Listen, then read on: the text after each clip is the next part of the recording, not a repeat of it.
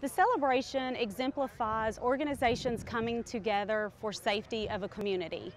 Um, so Gate 9 and expanding the Gate 9 and the flow of traffic here for the infrastructure for the employees who travel this road daily and their safety was very important.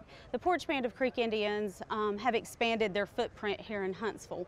Huntsville's, Huntsville's growing by leaps and bounds and so is the Poarch Band of Creek Indians here in Huntsville. We have PCI Aviation, we have Media Fusion, PCI support services as well as the TownePlace Suites here at Gate 9. We also just opened a new hotel downtown Huntsville, AC Hotel. So expanding our footprint here in Huntsville was very important for us to build a stronger, safer community here in Huntsville. The importance of uh, the honoring today and the unveiling of this monument exemplifies organizations coming together and working together. When we all work together, we can have a better Alabama.